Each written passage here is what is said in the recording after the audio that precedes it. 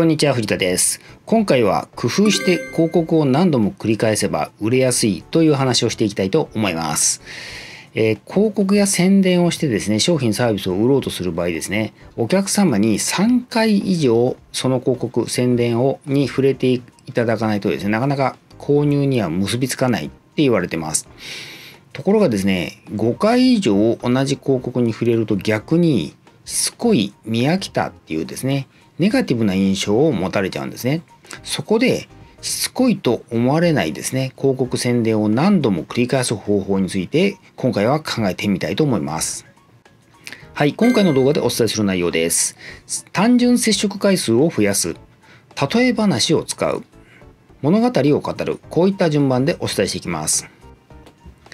ところでこれは別の話なんですけど私はですね IT にも詳しいマーケッターと自称していることもあってですねパソコンにも詳しい人と思われていますところがですね、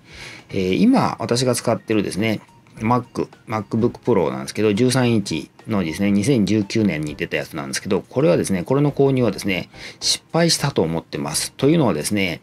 買ってから使い始めてですね、気づいたんですけど、キーボードがですね、打感が悪いんですね。まあ、当時、買った当時はですね、Mac っていうだけでですね、無条件でミーハー的にですね、最新機種を買ってしまうというですね、素人みたいなことをやってしまったんですけど、やっぱり PC はですね、キーボードで生産効率が変わりますので、実物を触ってからですね、決めるべきだったと後悔してます。はい。この動画でお伝えしているリンク先などの情報は動画の説明欄に貼り付けてあります。このタイミングでチャンネル登録しておいてもらいますと、後から探しやすいかと思います。私のことをご存じない方多いと思います。簡単に自己紹介させてください。サクッと1.5倍速15秒ぐらいでお伝えしますので、見てください。藤田博と申します。ウェブ集客コンサルタントをやっています。大学卒業後15年ほどシステムエンジニアとしてサラリーマンをやっていました。脱サラ独立してフリーのコンサルタントとして15年ほどやってこれております。現在は顧問契約とオンラインサービス、オンライン講座をサービスとして提供しています。よろしくお願いします。はい、単純接触回数を増やすということで、単純接触回数っていうのはですね、ザイオンス効果、聞いたことあると思うんですけど、ととも呼ばれてましてですね、これはポーランド出身のロバート・ポレスワフ・ザイオンスさんという心理学者がですね、もう随分前ですけど、1968年に論文発表されたもんですね。で、とこれ内容はですね、特定の人や物に接する回数が増えれば増えるほどその対象に対して好印象を持つという現象のことですね。もうマーケティングの世界では基本中の基本です。そしてですね、対象となるものにはですね、情報も含まれます。ですから広告も情報の一種なので対象になります。そしてですね、特筆すべきことがあってですね、好き嫌いに関係なく回数を重ねるごとにですね、だんだんといい印象に変わっていくっていうことも分かってるんですね。でちなみにですね、反復回数によりですね、反応率の数字の変化っていうのがあります。まあ、あの条件によって変わってくるのであくまでですね参考な参考な値として受け取ってもらいたいんですけど例えば3回繰り返すと反応率が45%以上になると言われてまして10回繰り返すとですね85%以上になるとも言われてます。あくまで参考にの数字として受け取ってください。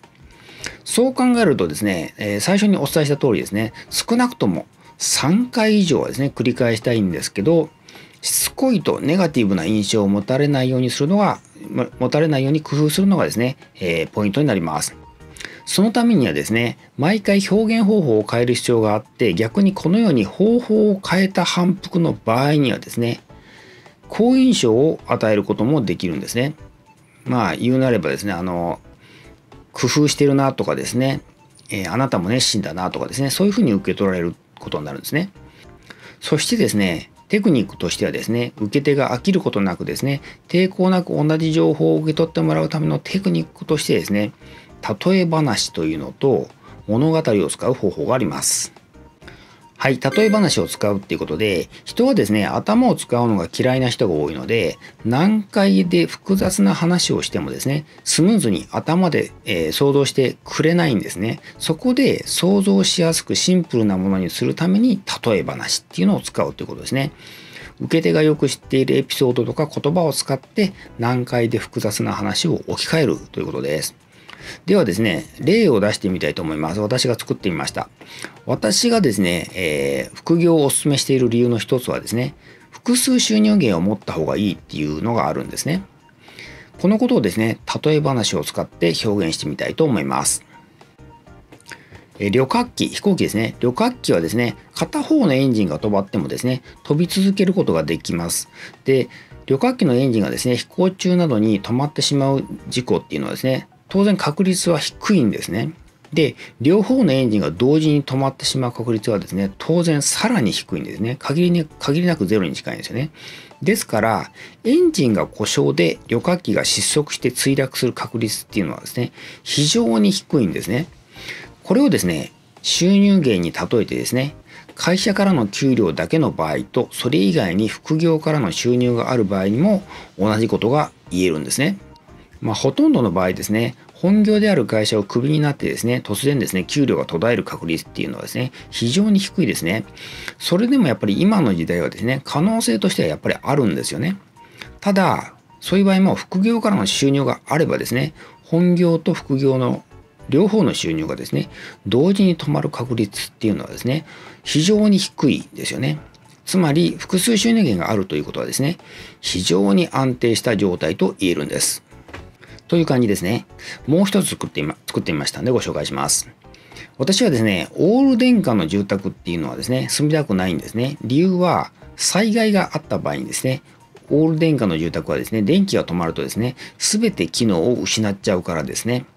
もちろんですね、現代社会のまあスタイルというかですね、あの住宅ではですね、電気が途絶えればですね、もうほぼ何もできなくなるんで、一緒じゃないかっていう話もあるんですが、ガスだけでも使える状態だとですね、少なくともガスコンロで調理はできますし、ガス給湯もですね、使えるケースが多いんですよね。で、災害時にはですね、こういったことができるだけでもですね、かなりありがたいんですよね。という感じです。あとはですね、さっきの旅客機のエンジンの話と話と同じくだりになりますね。で、これを収入源と例えて、会社からの給料だけの場合と、それ以外の副業からの収入がある場合も同じことが言えますと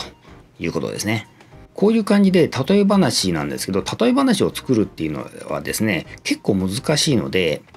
えー、例え話はですねあの他の人がですねしているようなストーリーとかですねあるいは普通のストーリーでですね普通のストーリーって言い方変ですけど、えー、聞いたようなストーリーがあって自分のえー、ビジネスで使えそうなものがあったらですね、それをですね、ストックしておくといいです。で、こういうストックがですね、溜まれば溜まるほど、それを反復してですね、繰り返して広告に出す際にですね、利用できるんですね。もちろん、今回私がですね、ご紹介した話もですね、あなたのビジネスに使えるようでしたら、ぜひ活用してみてください。はい、物語を作るっていうことで、実は物語ストーリーは例え話と同じぐらい難易度が高いです。ただですね、効果は非常に高くてですね、その理由は人の脳っていうのが物語を理解すると記憶しやすい性質を持ってるからなんですね。またですね、一つのストーリーになっていて記憶しやすい情報に価値を感じるという傾向もあるそうです。ですから、ストーリーは使わない手がないんです。それではですね、例を出してみたいと思います。私が作ってみました。日本にはですね、えー、匠の技と呼ばれる技術を有するですね、世界の他の国の追随を許さない部品産業っていうのがあるんですね。具体的にはですね、えー、切断、切削、溶接、研磨っていう技術ですね。これがですね、えー、部品産業の世界的な競争力っていうのを支えてるんですね。そして形状が複雑になればなるほどこの技術の進化っていうのが発揮されます。他国はですね、真似できないので、まあ、世界的にもですね、選択の余地がなくて日本が選ばれてきたっていうことなんですよね。で、まあ、どの国にもですね、真似できない未来英語を安定した技術と言えるかもしれませんね。ところで、今のあなたのですね、メインの収入源のですね、本業あると思うんですけど、で、その本業のですね、業界がですね、成長業界で、で、あなた自身も技術も能力も高くてですね、本業として安定していると自信を持っているとしましょう。で話をですねまた日本が誇るあの部品産業に戻しますけど実はですねこれまでの手作業という方向からはですね他の追随っていうのは許してこなかったんですけど、まあ、まあ簡単にはですねそっちの方向からですね追いつけなかったんですけど全く別の方向からライバルが現れましたそれはですね 3D プリンターですえ、3D プリンターですね、使える材料は当初はですね、プラスチックぐらいだったんですけど、今はですね、金属もコンクリートも使えます。ですので、設計図さえあればですね、これまでのですね、切断、切削、溶接、研磨っていう技術がですね、不要になって物が作れるようになってしまったんですよ。で今後もですね 3D プリンターの精度はですね向上し続けますからでコストも下がると思うんで近い将来はですね日本の部品産業はですね大きく衰退することになります。こんな激変をですね一体誰が想像したでしょう？という感じなんですよ。でどんな分野であってもですね今がいくら安定していて将来的にもですね他の追随を許さないっていう予想ができたとしてもですねこれからの時代っていうのはですね何のきっかけでこんなよこんな状況を迎えるかっていうのはですね分かんないわけですよね。つまりですね、えー、さっきのあなたの本業の話に戻しますけどあなたの本業がいくら安定していてあなた自身にその分野での能力に自信があったとしてもですねこれと全く同じことが言えるんですね。ただ慢心せずにですね今の安定がいつ崩れてもおかしくないっていうですね心の準備ができていれば話は別なんですねそういう考えの人はですね普段からですね副業をしてリスクを分散しようと考えるでしょうし本業が廃れてしまってもですね精神的なショックっていうのはですね少ないはずなんですね。周りがですねおろおろしている間にもですね復習副業での収入でですねしのぎながらですね新たな方向にですね、えー、向けてですねあのいち早くリカバリーできるはずなんです。という感じですね。ちょっと順番が逆になりましたけど、えー、ストーリーの、えー、組み立て方はですね人を動かす物語の基本っていうのがあってですね上げて落としてあげるというパターンで作ります。この組み立て方で感情を揺さぶると聞き手の印象記憶に残りやすくなるということですね。まあ、見え見えの方法なんですけど、えー、こういうパターンやっぱり、えー、普通にみんな感情が動くということみたいです。今回はですね、広告で使うことを前提にお伝えしてますけど、メールでもメールマガでも企画書とかですね、プレゼンでもですね、同じ構造を持ち込めばですね、ストーリーの力で、えー、こちらのメッセージが伝わりな伝わりやすくなりますので、えー、ぜひご活用してみてください。はい、副業への一言っていうことで、今の時代はですね、ほとんどのビジネスでは広告にはですね、ネット広告を使うことになると思います。ネット広告についてはですね、あなたも普段からよくえー、目にしていてですね、気になることないですか？それはですね、同じ会社の同じ広告ばっかり目に入るっていうことなんですね。きっとあなたはですね、同じ広告ばっかり見せられてうんざりしてると思うんですけど、それはですね、あなたが広告を出す側になった場合も同じことになります。ネット広告の世界ではですね、画像などの広告素材のことをですね、クリエイティブって呼ぶんですけど、そこでこのクリエイティブがバラエティに富んでいて種類がいくつかあると同じ広告ばかり表示されなくて飽き飽きられにくくなるということなんですね。で今後ですね広告を運用されたりとかですね今は広告を運用されている方もですね同じクリエイティブで出し続けてるとですね分かることがあるんですけど徐々に反応が落ちてくるのがですね実感できると思います。これはですね要するに飽きてるっていうことですね。ですから将来の広告出稿に備えてですね、クリエイティブは定期的に変える必要があるっていうことをですね、頭の隅に入れておいてもらうといいかと思います。はい、今回は以上です。今回の内容お役に立ったようでしたら、グッドボタンいただけると嬉しいです。はい。このチャンネルでは収入源を増やして複数収入源を得るための方法をご紹介しています。チャンネル登録していただけると嬉しいです。新たな収入源として私の一番のおすすめは、あなたの持つノウハウをオンライン講座として作ってそれを売ることです。それに関する情報については動画の説明欄にリンクが貼り付けてありますので、ぜひそちらからもご覧ください。はい。今回も最後までご覧いただきまして、ありがとうございました。